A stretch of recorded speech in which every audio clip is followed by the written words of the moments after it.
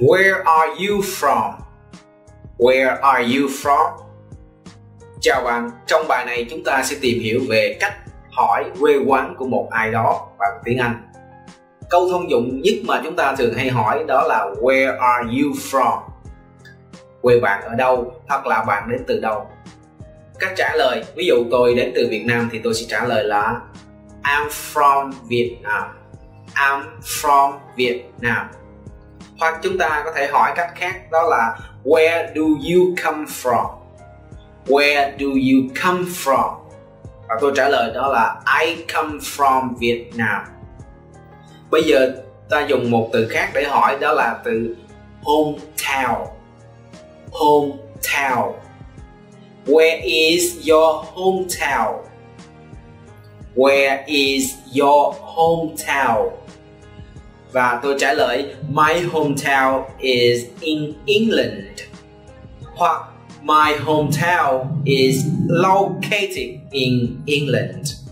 Hoặc, My hometown is in the south of Vietnam. Hoặc, My hometown is in the north of Vietnam. Và sau đây chúng ta hãy tìm hiểu một số quốc gia và tương ứng với nó là những quốc tịch trên thế giới. Một bên chúng ta chia ra là quốc gia và một bên là quốc tịch.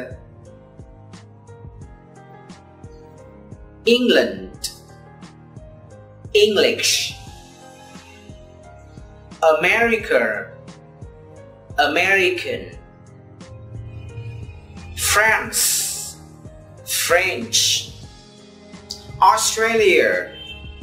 Australian Canada Canadian Italy Italian China, Chinese, Korea, Korean, Vietnam, Vietnamese, Singapore, Singaporean.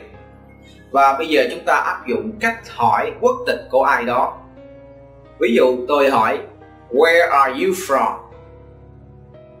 Thì câu trả lời là, I'm from Vietnam như vậy là chúng ta hỏi về quốc gia còn quốc tịch chúng ta sẽ hỏi là, chúng ta dùng từ nationality nationality là quốc tịch what is your nationality what is your nationality thì lúc này câu trả lời là, I am Vietnamese, chứ không phải là Việt Nam nữa Tương tự chúng ta hỏi, Where are you from?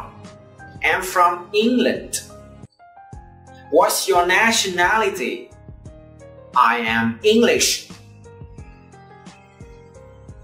Tương tự đối với từ Australia. Where are you from? I'm from Australia. What's your nationality? I am Australian. Goodbye and see you again.